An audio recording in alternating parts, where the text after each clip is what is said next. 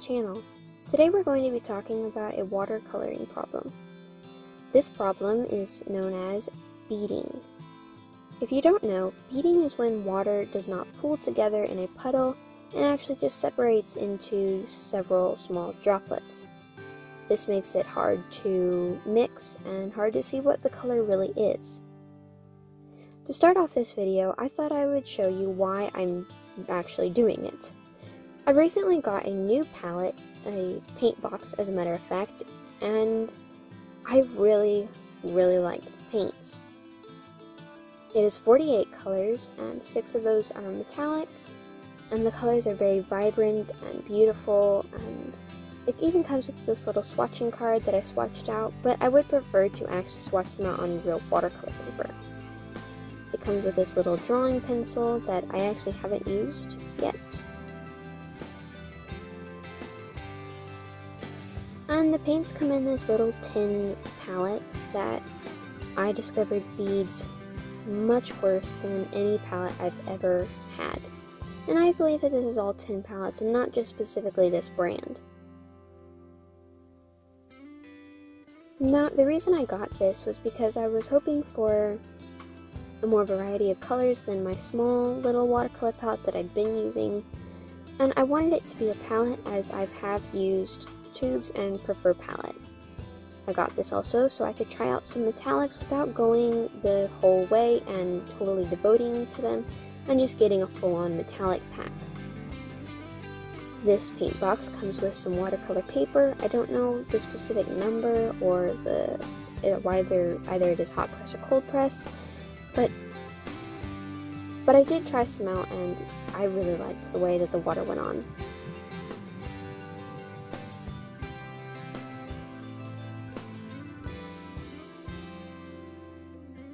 Paint box also came with some watercolor brushes.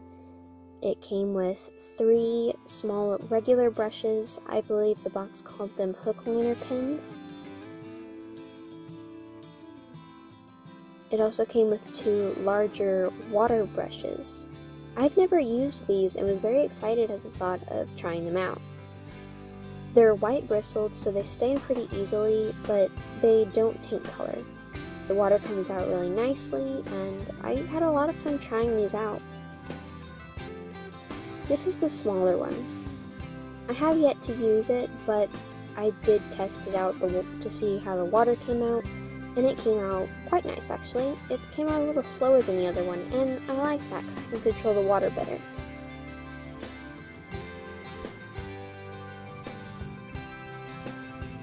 This is a ceramic watercolor palette that I'll use sometimes, and I bought it because of the beading problem.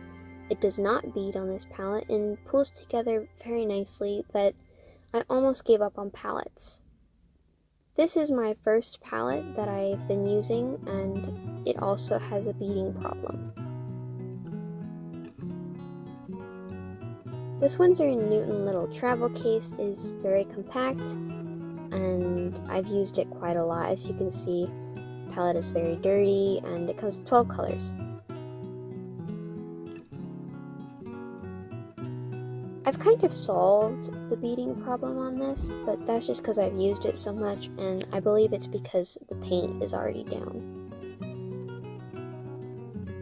It comes with this little compact brush that I don't actually use very much except for mixing, and really I only use it when I go out and want to bring my little my little watercolors. Just to show you that this one actually doesn't bead, I put a little bit of water on there to show you. But it does bead when it is put on a clean surface. It's not beading now because I have a dirty surface under it of watercolors.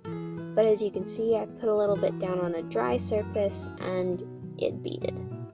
Is that a word? Beaded?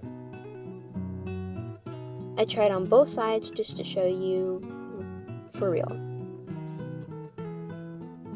And used a different color, and as you can see, it, it beads when it does not touch the paint, but pulls together when it actually has paint under it.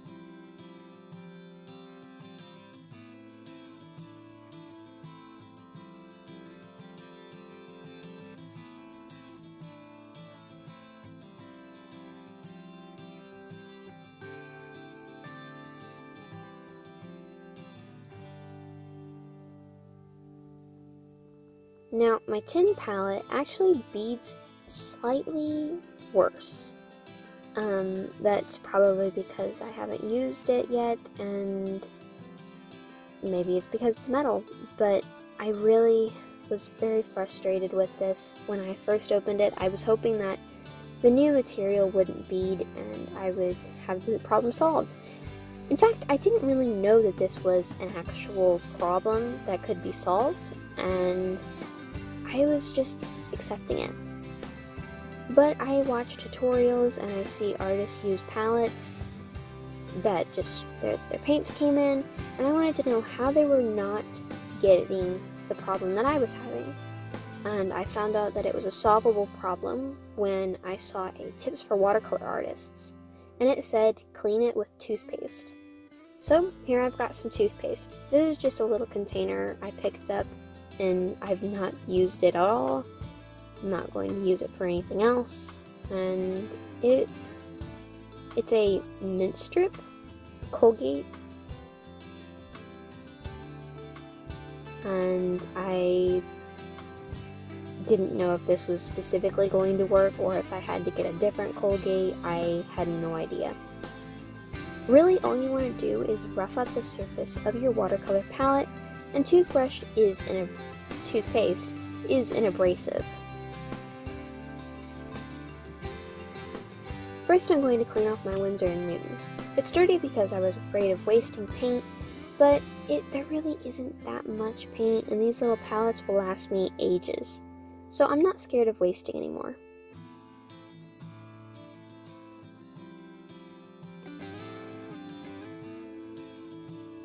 In the first little section, I'm going to try out just the toothpaste.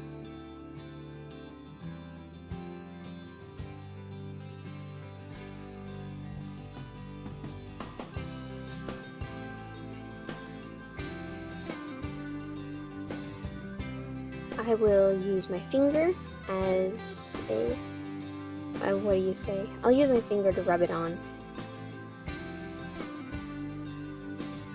Now, this didn't take me too long, or at least the rubbing part didn't, but cleaning it was kind of hard, as the toothpaste would get stuck in the little corners. Here I'm bringing in a toothbrush so I can scratch up the middle surface with the toothpaste and the toothbrush co- combined, and I wanted to see if that would get a better result. I hadn't tested the first one yet, but I just wanted to see what would it look like with the toothbrush, which is also a scratching material, and the toothpaste.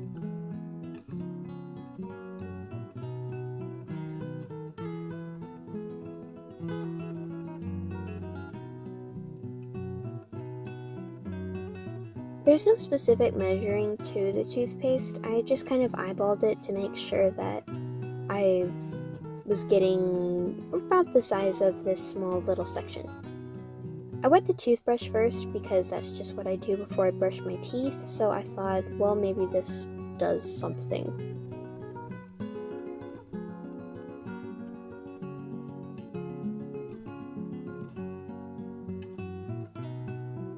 Now to test out the results. I'm going to use a pretty dark color for so that you can see clearly.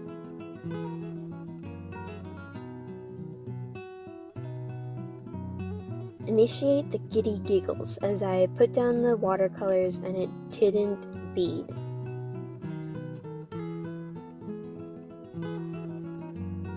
Next, I tried out the toothbrush and the toothpaste and Put in some more giddy giggles because this one worked even better.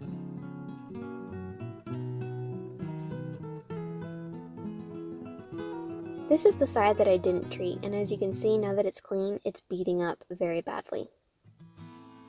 Not as bad as the tin palette, however, but that's again probably because of a different material. I played around with these a lot just to make sure that it was a 100% and wasn't just a temporary effect and I was really happy with the toothbrush and toothpaste result, as it seems to be the least amount. However, this led to the question was it the toothbrush or the toothpaste that was giving me the result I wanted? So I went back and just took the toothbrush to it.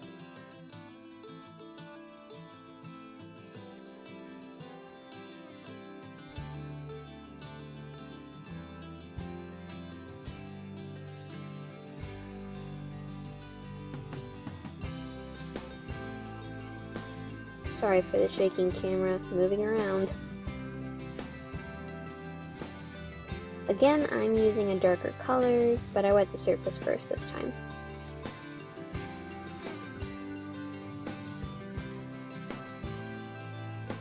When I first put this down, I was pretty excited, I guess, to show that the toothbrush did do something, but it was still beading, and I would say that both of them put together did the best job. I mixed another color in there just to make sure that I was getting it right, just to see how mixing colors would be. And I also mixed colors in the one that I treated with both of them, just to make sure that it was, again, not a temporary effect, and I could get the nice pooling watercolors even after a little bit of time had passed.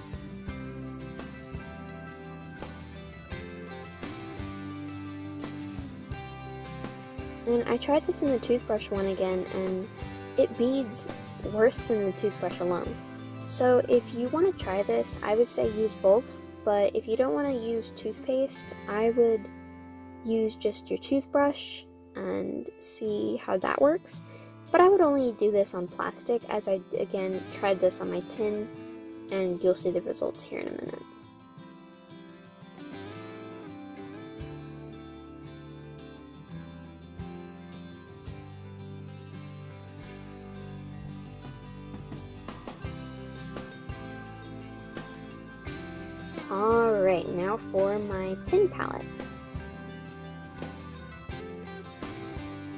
I'm going to try the same techniques on this as I did on my plastic.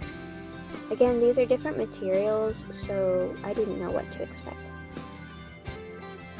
I'm going to do the same thing. I'm going to put the toothpaste down and use it alone on one section, and use it with the toothbrush on another, and then just use the toothbrush alone in the next section.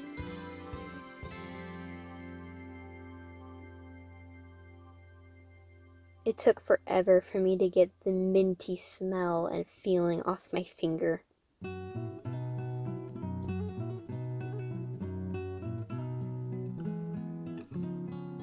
So, it doesn't pull as bad as it did before. But if you look closely near the edges, you can see it beading up a little bit.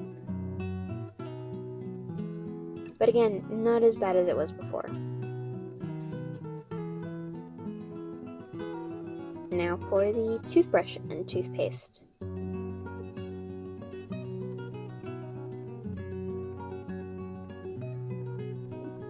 Move the palette around so I could get a better angle and went away.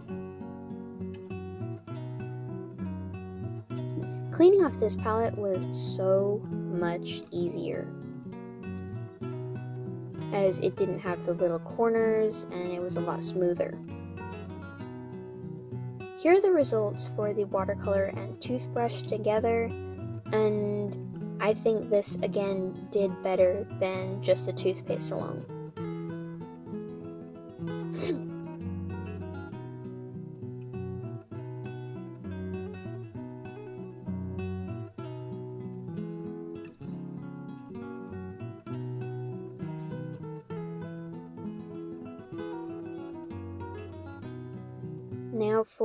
Just the toothbrush alone. I went and cleaned it because it was starting to look a little nasty and I didn't want to dirty my surface.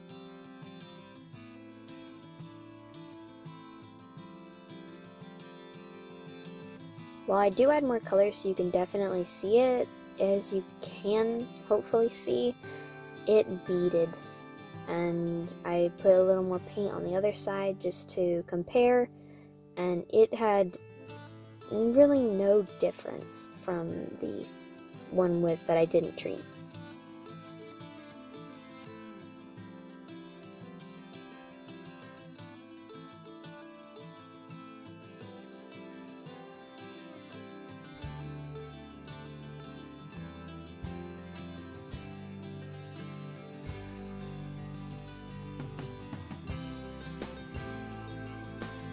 Played around with this for a little bit because I loved the feeling that it wasn't beading. And then I just treated all of them with the treatment that seemed to work best.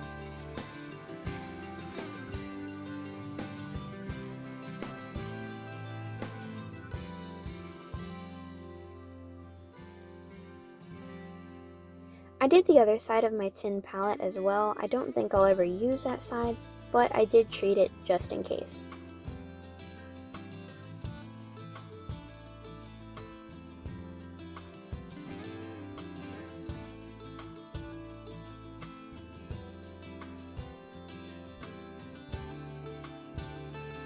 Off my brush and put the cap back on as I finished up my watercolors.